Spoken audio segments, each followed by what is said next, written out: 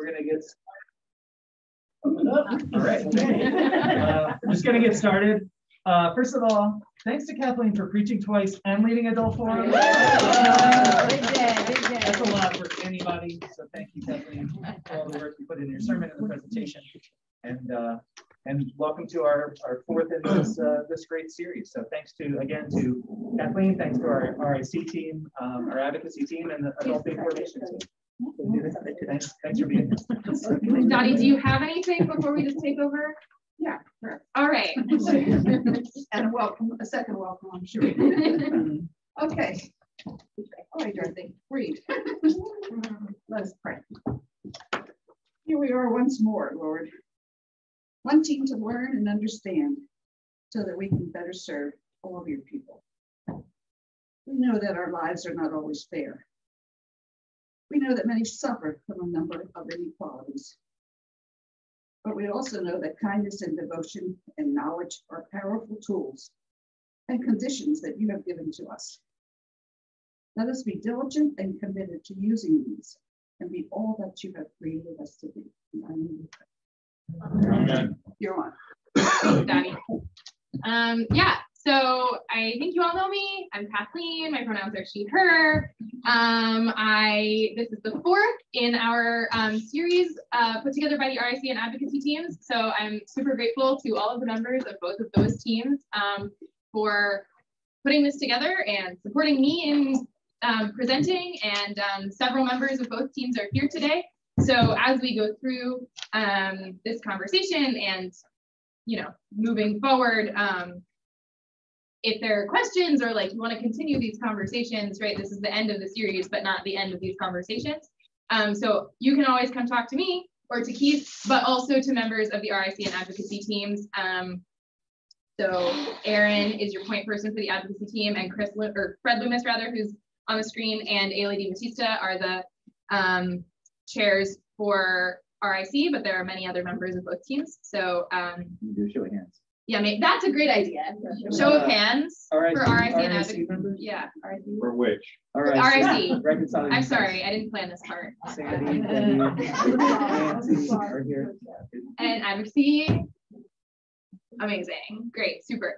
Um, so today um, we're talking about intersectionality and marginalization. Um, as you can see, you already have some advocacy opportunities listed that are related to intersectional justice issues. Those sheets are going around. Um, we're also going to use the back of that sheet as a blank sheet of paper briefly. Um, so just if you don't have a piece of paper, if there aren't quite enough for everyone, um, be aware. We have more people. We, we can find more paper. Um, but with that, I'm going to go ahead and share my screen. Um, and so I will have slides on the screen. Those of you who are on Zoom, if you can get a scratch piece of scratch paper and a pen um, for, a, very brief thing later, and these advocacy opportunities uh, will be listed on the Adult Forum resources page. I think that is, those are all the housekeeping things. Um,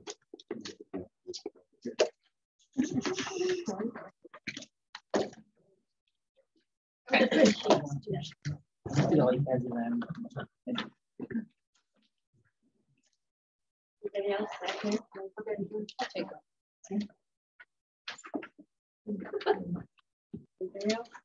Amazing.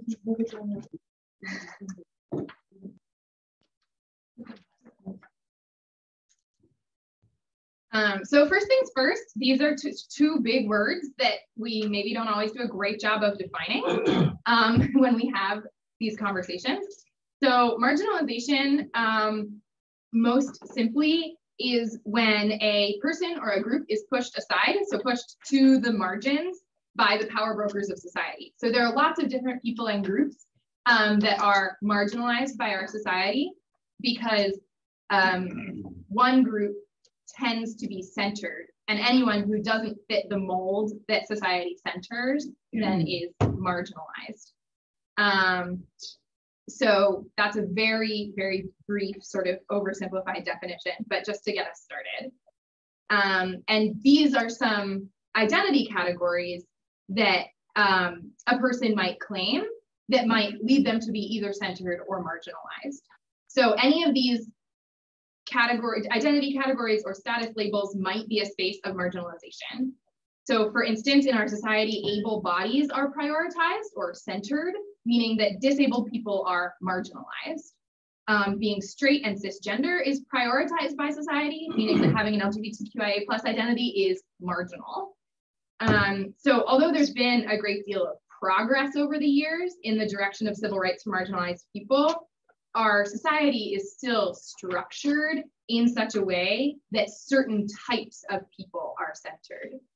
Um, so very briefly, that very simple, simplified definition of marginalization. Are there any questions before I move on to intersectionality? We will obviously like the whole hour, we're gonna be talking about both these concepts, but just on level of definitions or concepts, are there any questions? Is there any uh, significance to the size of the circles on that? or is it Oh, just no, random? it's just an image. Um, It's just an image that I found on the internet. I didn't, I didn't even think of that. Very astute question. Um, no, these are, these are just categories that might lead us to be um, either centered or marginalized, right? And you can see that some of them aren't necessarily like fixed identity categories, right? Um, things like personality um, is not, you know, a social identifier, but it might be something that leads a person to be ostracized. Um, so some of them are sort of more core to a person's being than others. Um, so in that way, there is like maybe some difference, like maybe this, this image maybe could be a little bit more precise, but um, any other questions? All right. Um, so intersectional theory, so intersectionality is the other big term then, right? And intersectional theory grew out of, mo- excuse me, grew out of a movement of Black women, and the term was coined by Dr. Kimberly Crenshaw. So this is an excerpt from a TED talk that Dr. Crenshaw gave explaining her experience with intersectional marginalization. And we're gonna watch just like a brief clip from this TED talk because she explains it better than I ever could. Oh, I hang on, I need to share sound. I forgot this last time too. Can you see okay? Nope, that's still not working. Uh, we might have to Sorry. So it says I'm muted. Yeah. yeah. Okay. Oh.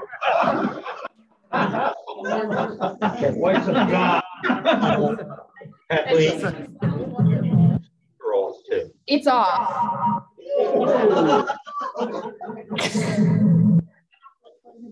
Nothing comes, so I tried unmuting and I tried turning my sound on and neither of those makes the video sound work. the audio in there Yep. on the, no.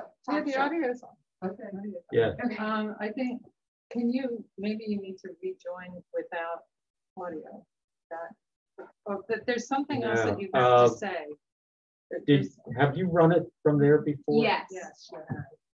Okay, um, There's another something when you join Ju- Zoom, I think to allow. Hang on, I just found one more setting. Let me try something else.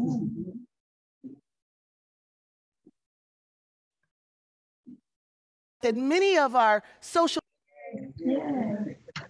All right. Many years ago i began to use the term intersectionality Nope. that many of our social justice problems like race All right. We're gonna try that again and I'm very sorry.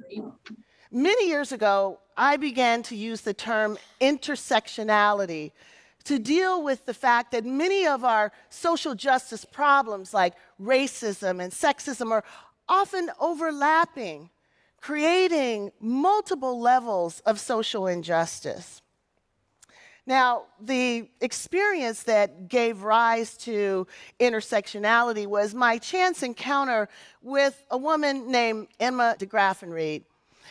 Emma DeGraffenreid was an African American woman, a working wife, and a mother. I actually read about Emma's story from the pages of a legal opinion written by a judge who had dismissed Emma's claim of race and gender discrimination against a local car manufacturing plant. Emma, like so many African American women, sought better employment for her family and for others. She wanted to create a better life for her children and for her family. But she applied for a job and she was not hired, and she believed that she was not hired because she was a black woman.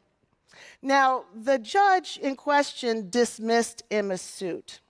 And the argument for dismissing the suit was that the employer did hire African Americans and the employer hired women. The real problem, though, that the judge was not willing to acknowledge was what Emma was actually trying to say that the African Americans that were hired, usually for industrial jobs, maintenance jobs, were all men. And the women that were hired, usually for secretarial or, or front office work, were all white. Only if the court was able to see how these policies came together would he be able to see the double discrimination that Emma DeGraffenreid was facing. But the court refused to allow Emma to put two causes of action together to tell her story because he believed that by allowing her to do that, she would be able to have preferential treatment. She'd have an advantage by being able to have two swings at the bat when African American men and white women only had one swing at the bat. But of course, neither African American men or white women needed to combine a race and gender discrimination claim to tell the story of the discrimination they were experiencing. Why wasn't the real unfairness law's refusal to protect African American women simply because their experiences weren't exactly the same as white women and African American men. Rather than broadening the frame to include African American women, the court simply tossed their case completely out of court. Now, as a student of anti discrimination law, as a feminist, as an anti racist, I was struck by this case. It, it, it, felt to me like injustice squared. So, so first of all, black women weren't allowed to work at the plant. Second of all, the court doubled down on this exclusion by making it legally inconsequential. And to boot, there was no name for this problem. And we all know that where there's no name for a problem, you can't see a problem. And when you can't see a problem, you pretty much can't solve it many years later, I'd, I'd come to recognize that the problem that Emma was facing was a framing problem.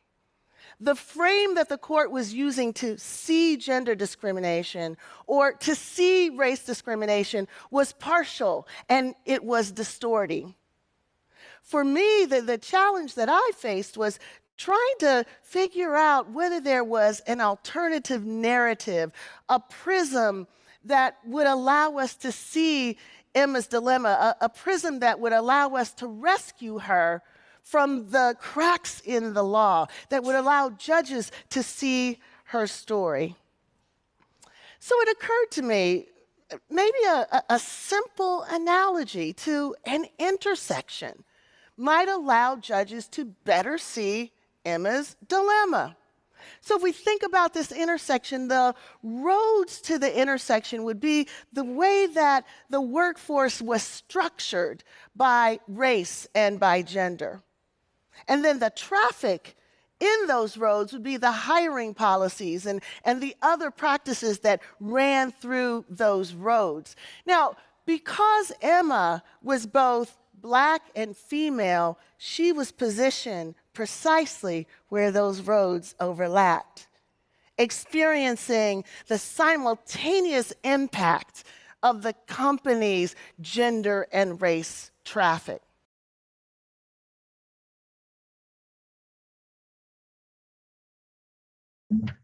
So, oh. Many years ago. Uh, so, as Emma's story demonstrates, it's often the experience of individuals and communities that raise awareness about social injustices. So Dr. Kimberly Crenshaw was part of Black feminist movements, um, but until she met Emma, uh, intersectional theory wasn't part of her legal analysis. Um, she's a legal theorist. Um, so it's the experiences of individuals that lead to these sort of understandings of social injustice. And in their book, Intersectional Theology, Grace Ji-Sun Kim and Susan M. Shaw explain that intersectional theology too is contextual. It begins in the stories of those who are doing the theologizing. So today we are going to do a little bit of theologizing, or if you were here two weeks ago, we might borrow Pastor L's um, language using our spiritual imagination. Um, and we're going to do that together using our own stories. So on your paper, we're just going to take like a brief minute for you to think to yourself. And if you're a, an internal thinker, you can do it in your brain. And if you're an external processor and writing is helpful to you, it is for me. Um, that's why I, you have paper and pens. Um, use this graphic as a sort of jumping off point. Use this graphic as a jumping off point to list your identities and life experiences that shape the way you interact with the world. So on the screen, you have examples, but there are certainly other areas that you might think of from your own life. Um, and it's worth noting that none of these are binary. They're not necessarily divided into neat categories. Um, so for instance, you might have been raised working class, but you now identify as middle class. And so both of those categories might shape your interactions with the world. Um, you might have an interfaith family and that shapes the way you interact with the world. Um, so that, um, so, so you don't have to fit yourself neatly into boxes in any of these categories, but just think about how your identities and life experiences um, in these categories shape your the way you uh, go about day to day. Just take a minute to do that, and then we're gonna chat.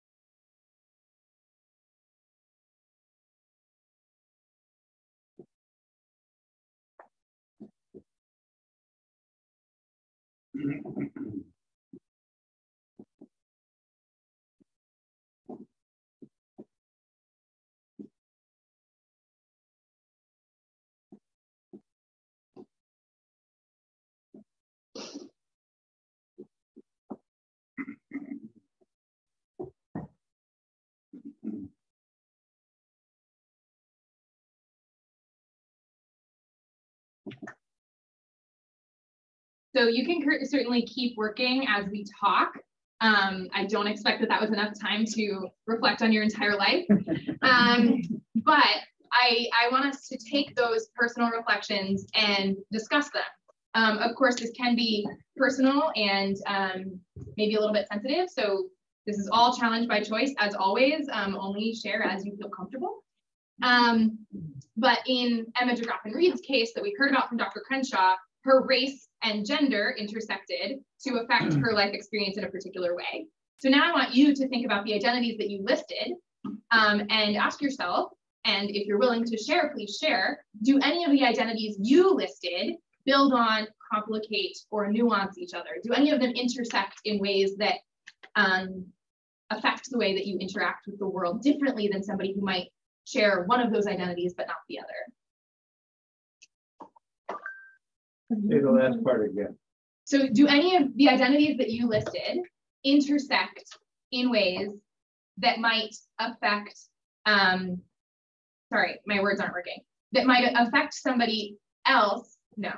What did I say? Do any of your, the identities that you listed intersect, like our example earlier of being Black and being a woman, in ways to affect you in ways that they might not affect somebody who only has one of those identities. Got it. So that a black woman has a different experience than white women or than black men, right? So those two identities intersect.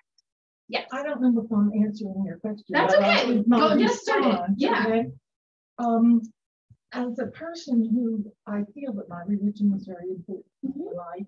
My, um, relationship with God Mhm. Is very important to me. As a public school teacher, this created problems for me because it, I certainly wasn't, obviously, no, I wasn't allowed to talk about God and religion as it, except when I taught at a Lutheran school. That was such a freedom, freedom for me. In the, in the public school, I couldn't. Do you want me to go on or do you hear it out? No, that's a great example. I, I didn't, I don't mean to stop you. If you have more to say, Oh, I certainly can do, talk but. for a long time. No, that, that, that's an example certainly of a way that a particular identity affected you. Mhm. Um, It was hard. Yeah. how about for others? Um, do any of your identities build on, complicate, or nuance each other? I have fun. Yeah. As it turned out, I, even though I got scholarships, I had to work my way through school. Mm-hmm. So money was very important. Mm-hmm. And one of the best jobs I could get was in a factory. Mm-hmm. Uh, And I was politely and not so politely told that being a woman, I could not do this job.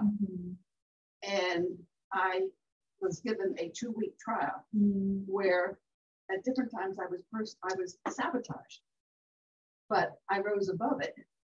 And I wish I had had phones we have today so I could take some pictures. Mm-hmm. But I had to convince them that my femininity mm-hmm. had nothing to do with my physicality or my mental ability. Mm-hmm. And I was the only woman working there, and that was another issue. They felt that it would just not work.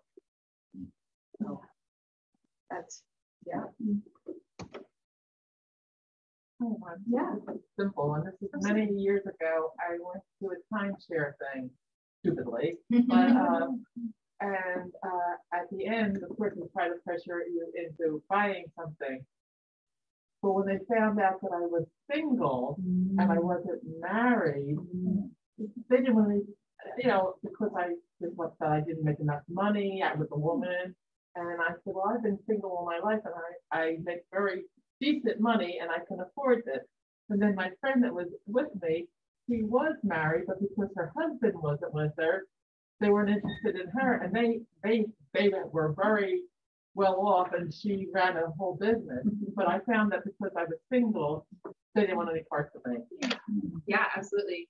Yeah, so there's this like ideal subject is the language that sometimes gets used um, in social analysis. The ideal subject is a straight cisgender white Protestant man who's wealthy. Um, he's married. He has, you know,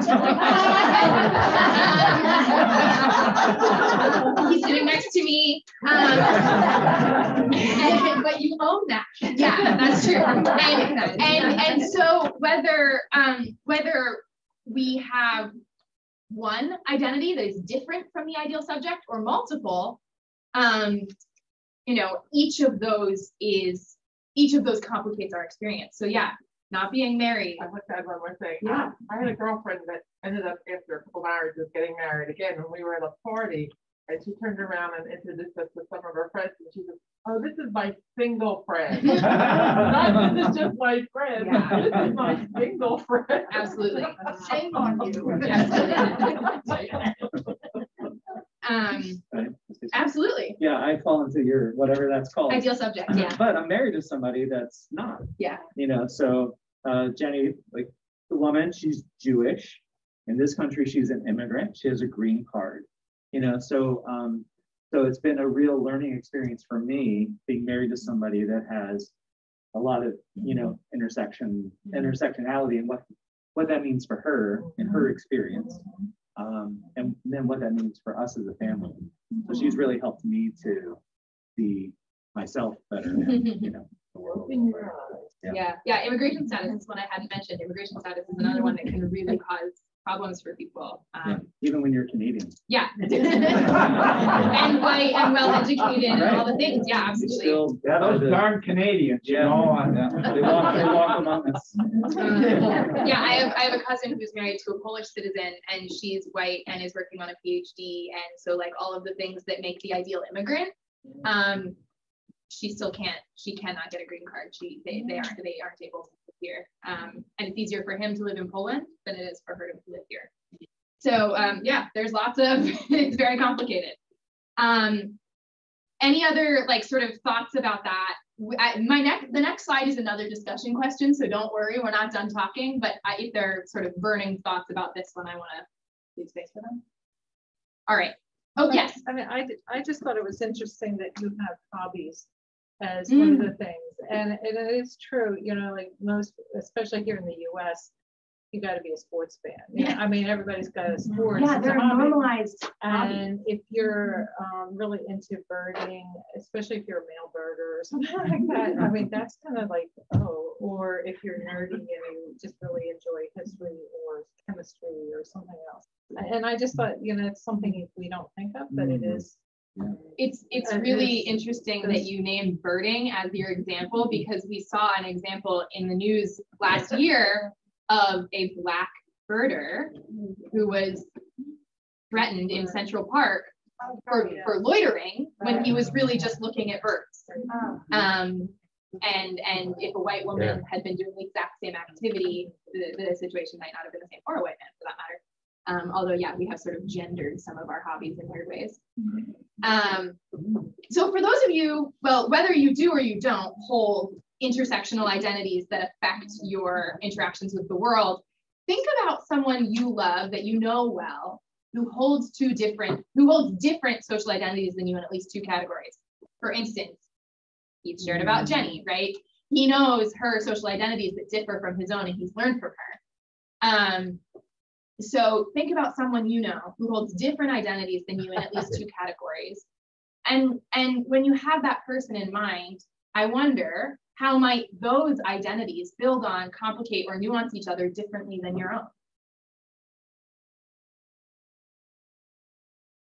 I have a friend who, uh, who is a CEO, female, uh, lesbian. And has repeatedly in the course of her life, and that's how she identifies her, um, has had to navigate or justify who she is, rather than what she has produced. And let's look at that and make judgments if that's your thing. Before the judgments even get to that point, they're using her, who she is. And I, I just wanted to say, some of these things, we have no control over changing. We were created like this by a loving God who loves us. So we ask sometimes of, of people to change who God has created. They're just to be accepted, but, but she battles that every single day in the conference room. Yeah. Absolutely. I Yeah. have one. Yeah. Um, my former minister, she was black, gay, and divorced. Mm. So, and, and, uh, what a great minister she was, but, uh, it was very different. She had been married, she had been gay, she was an educator, she became a minister, a full minister, and, uh, that's a lot of differences. Yeah, yeah, yeah. And in the church and in the workplace are two major places that we see these things playing out. Um, so those are both great examples. Yeah. Um, I um, know a, a young mother, uh, teenage mom. She's black. She has a child with a physical disability, and um, I kind of alluded to this a few weeks back when Pastor L was here. She recently had to go to our nationally esteemed local children's hospital um, for a cardiology appointment, and this little girl is very, very underweight due to a variety of reasons. Uh, the reasons do not include that her mother is not caring adequately for her. But when she went to see this cardiologist, the first question he asked her was, Are you feeding her? Oh my goodness. And just the absolute conviction that if that were me in there with my Mm-hmm. kid, never in a million years would. Yeah, absolutely. Yeah. So medical community. Is another.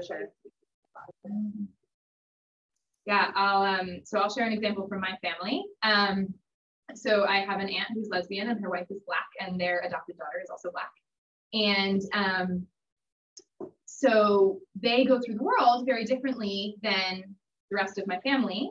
Um and in particular, uh there was a Thanksgiving, I don't know, five or six years ago. We're all sitting around the table and my aunt looks at her siblings and goes, okay, I'm just, I'm just curious. Anybody else have high blood pressure? Like, I've been told I have high blood pressure. You all share all my genes. Like, is this genetic or is it something else?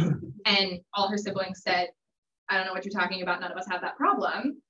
And so the conclusion then was that she experiences social pressures, um, just going around in the world being who she is, and in particular protecting her family. That other people in our family don't don't experience. Um, and it manifests in her health. And then sort of the the response of her doctor was like it's probably genetic. And she confirmed that it's not and her doctor didn't believe her that these social situations were um, adversely affecting her health and um and, and her wife uh, works at St. Olaf. Many of you may know St. Olaf is a very white Lutheran college. Um, and she constantly gets tokenized as this black woman, this black queer woman professor, um, you know, to like educate the rest of the campus community about her intersecting identities. Um, so they, yeah, they, they go through life very differently than, you know, my, my parents and my other aunts and uncles do. Um, even though they share a lot of their, a, a lot of other things in common. Yeah. So um, you all know, uh, well, most of you know Nelson Rivera, Mm. who's presented here as a good friend of the country. We had coffee the other day. And kind of along those lines, you know, he's uh, from Puerto Rico and um, he teaches at Meridian College, which is very white. So he is on every committee because they want the committees to be diverse. So like, that's a good thing, you know, he's on, on, he's on professor search committees. He's, you know, he's on every, he's on all these committees because he's a person of color. Right. And so he was telling me all these things that he's doing, and it just sounded, it was just exhausting. You know, he's like the nicest, he's the Yeah. nicest man. Yeah. But I just thought, you know, yeah, he's kind of doing this work on our behalf, you know, so in, in one sense, he was saying, I'm glad to be in the room and to help, but I'm exhausted and I still have to teach and, and do all.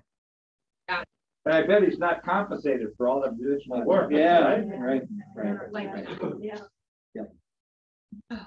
so I wish we could keep talking about this. There are so many, so many examples, um, but there are a couple other things I want to make sure we hit. Um, so another lens that we might use to conceptualize intersectionality is that of relationality. Um, so that might be a word that's more familiar or makes you helps you think about this in a different way. Um, so I'm just going to read. Uh, oh, it's on the screen. I don't have to read it, but I will also read it. Sorry, I forgot. I was looking at two different screens. Um, so this is an excerpt from a book called Intersectionality. It's by Patricia Hill Collins and Sirma Bilge. Um, and so they explain relational thinking rejects either or binary thinking. For example, opposing theory to practice, scholarship to activism, or black to white.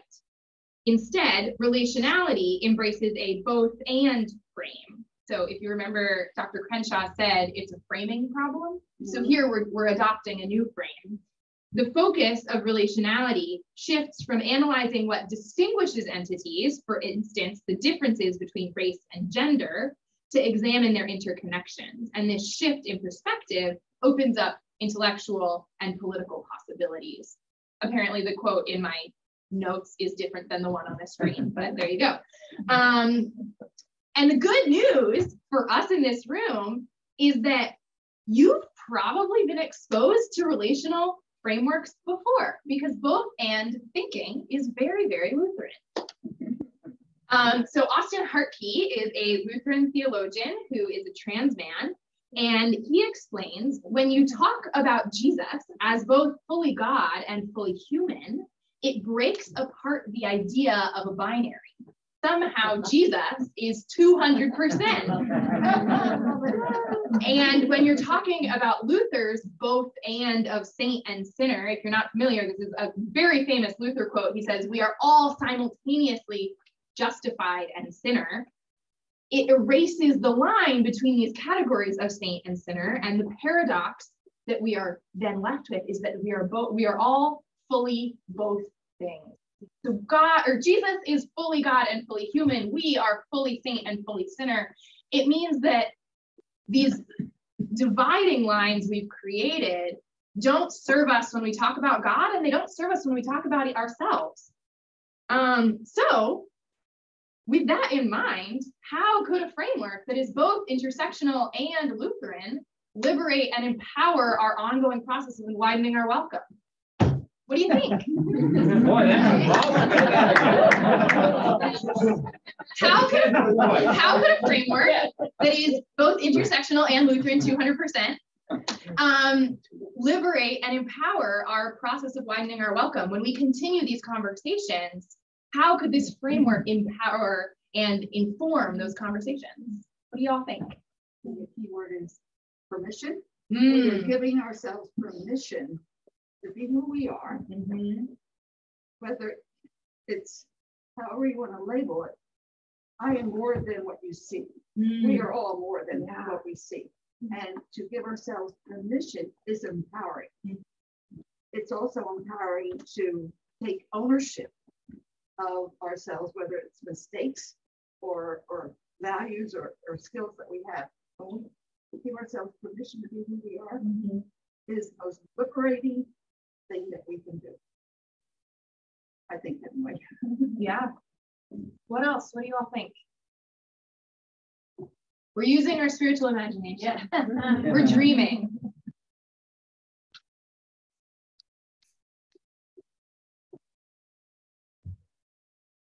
You know, like something that could slide when you talk about uh, when you have, when that loved one is uh, mm, sorry, I can't understand what you're saying. when a loved one has different identity. Yeah. And it talks about nuances and yeah. just those things. And I think um, that's where the little where I think we could widen our welcome if we would embrace those differences mm. or be able to, to power up those differences. Absolutely. I'm still working on it. Yeah. yeah. Absolutely. Not to see them as threats. Yeah, yeah, yeah. You know, and not to see them as tokenism. Right. Yeah. I mean, you know, we all want to do the right thing, yeah. but sometimes we objectify who's different just yeah. to say that, oh, hey, Absolutely. I accept it. Absolutely. That's such an important point. How about when we say my black friend? We ever say my Irish friend or my Lithuanian friend, and we say my black friend. And I hear, I think, why are you doing that? George um, wants to say something. Oh, yes. Yeah. Oh, no, George. Oh yeah, I'm sorry. Yeah, I was going to say that maybe the both and is like when we know that the Christian church hasn't been welcoming, you know, our both end could be that we are we are a Christian church and we are welcoming. You know, that that in, in and of itself could be like a revelation that's not widely believed. That shouldn't it shouldn't be like a paradox, but sometimes it is. Yeah, right, right yeah, Erin. Wow. George. so in, in, terms of widening our welcome, and um, you know, I, am thinking about how churches tend to operate, um, how people are called to committees, how we hire staff, how we structure ourselves is often started with a presumption of who someone is and what role they may fill. But I think in doing this exercise, we see that we all see ourselves as having so many more identities than you can see on the surface. Mm-hmm. And that we need to maybe do a better job of, of helping people to express who they feel that they are and what they feel they would bring to different situations rather than saying, you look good for this job, you look good for that committee, come on, get in here. You know, how do we do a better job at allowing people to tell us who they are mm. and where they might serve or be a part of things. Yeah, that's a great idea. Absolutely. Other thoughts? Just to piggyback on what Erin's saying, I've long thought that, uh, and I think I shared this, but um, that we could do a better job of sharing stories in the mm-hmm. congregation. You know, oftentimes we see each other for six minutes between this and that, and oh hi hi, how are you doing? Oh the weather, oh the this, the kids, whatever, and it's kind of superficial. Mm-hmm. But if we took a moment, maybe you know every even every service, to have somebody stand up and tell a five minute story about themselves. Mm-hmm. Um, it would be super impactful. I know when we didn't, when we were without pews.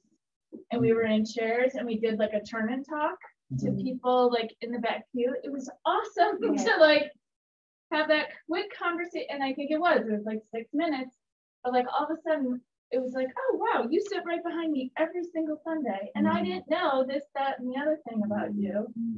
And um, uh, the quote that I always resonates with me is um, the shortest distance between two people is a story. And I just think if we had more opportunity, you know, and again, we're smushing this into like an hour, an hour time frame, and we only have nine more minutes. But um, you know, like what a great opportunity to to branch off of this and have more opportunities to to share stories and to connect because we are we are so multidimensional. Um, many of you have known for many years, excuse me, and yet there's so much that I don't know about you and you don't know about me, and so I don't know. I just think this could be a really cool one. I would say like even just have a whole month of adult forum where we could just do that. That would be interesting. My parents just moved into a retirement. And once a week, they have a uh, activity on their calendar where people come and just tell their story. Yeah. So that this little community can come together and get together. What did Pastor L say two weeks ago? Something about like, what keeps you up at night? Mm-hmm. Yeah. Yeah. Such a You know, and the other thing thing I took away was if it doesn't have food, it could have been an email. That's what I took away too. Right? Like, what if we did like quarterly dinners where we just like get back to the whole like, let- let's just sit together and like you could have some conversation starters on the table for people who feel are a little bit introverted or feel like they're not sure where to start, but to just talk to one another about what we all find important and like let that lead sort of how we continue. to Get back to those Yeah. old fashioned potluck suppers. I like dinners. I mean, Lutherans were onto something all those years. That's Claire, I saw your hand. Kind up. of Sorry. segue on- Kind of segue Yeah. on what you said, um, to get, to include the community, if you have like a chicken barbecue or something like that, where not only are we there, but the community could be invited to come, I mean, it would cost money or something, but still, uh, I've seen this in other churches, in, in the non-denominational churches a lot, where they have community events and they invite the community and they go around, and they talk to people mm-hmm. about what, what their church is about and, mm-hmm. and are, are friendly to the community and welcoming to the community. And it really does, if you're looking to widen, it, it brings people in because you're being very welcoming. Yeah. And it forces you out of your comfort zone. Yeah. Lutherans, they're scared of who they might get. I'd say especially like white suburban Lutherans, not to call literally all of us out, um, but you know, um, You actually have to welcome people. yeah. um, yeah. So this conversation continues like all the conversations we've been having, but um, that area one of our strategic plan that if you're not familiar or you need to refresh your memory is posted in the narthex is all about widening our welcome and RIC is um, a part of that and anti-racism work is a part of that, but also just generally, how do we become a more intentionally welcoming community? And how can we communicate that to the wider? Yeah. How can we get that out? Yeah. So that um, people know who we are. Yeah. My neighbor was telling me, she couldn't think of the name of RIC, but she knew her church was an RIC church, but she couldn't think of it, but she was trying to explain it to me. Yeah. And when she was explaining it to me, I said, are you an RIC church? And she's like, yes. Yeah. So that's what we're trying to do. And Yeah. trying to let the community know that we're that. Exactly. So I think that's something we need to really focus on is how to let the whole community know what's up. Like the, the dinners here are fabulous for us already, but how do we make that something that other people can come to and feel safe? Yeah. So just in the last couple of minutes, who's missing? What are we missing? What have we, what has been left out of this conversation so far? Are there identity categories or structural inequalities that we've missed in this conversation? Um, are we missing out on opportunities to think more intersectionally that you've noticed? We have, we have not addressed how early we need to be encouraging that some children. Mm. You know, uh, within the congregation, mm-hmm. the, the Sunday school program or mm-hmm. whatever, to have that component there. And I'm not mm-hmm. saying that they don't do a fabulous job, not at all, but to intentionally have that as a component, so as they live and grow in this house of God, it will just be further acknowledged and reinforced, so that by the time we confirm or maybe marry you or baptize your babies, uh, this is just who we are. Yeah, yeah, for sure. Yes, Alex. I've been, I've been advocating for uh, having the youth as part of this discussion. And also, uh, and, I- and I also wanted to say something about sameness and differences because we so often highlight them. And I wonder uh, to what extent we should or shouldn't highlight them.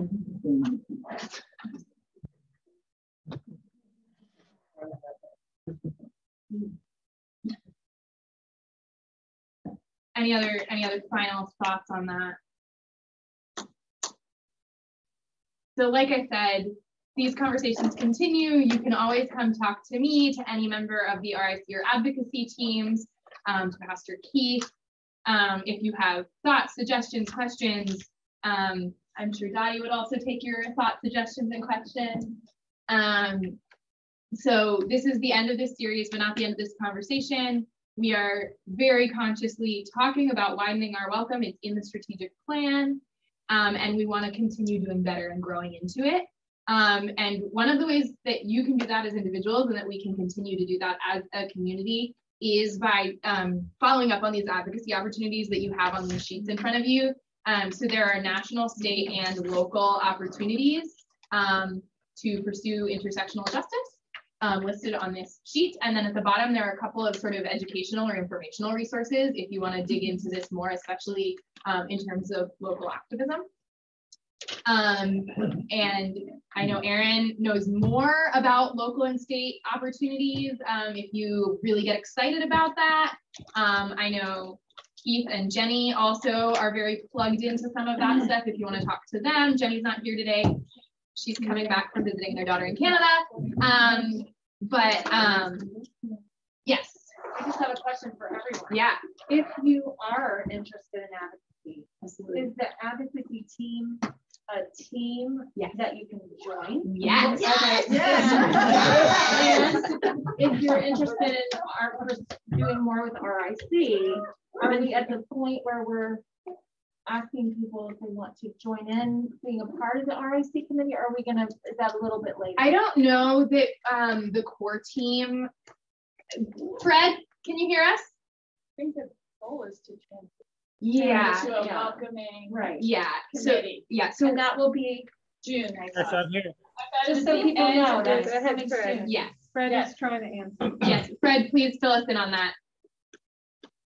Yes, I think uh, the RIC team eventually will transition to a broader welcoming task force. I think that's in our plan, probably in the next few months. So we still have more work to do. And this uh, educational series was a big part of that. But eventually there'll be an opportunity, I think, for people to join in the welcome that we wish to uh, proclaim and expand uh, in the very near future.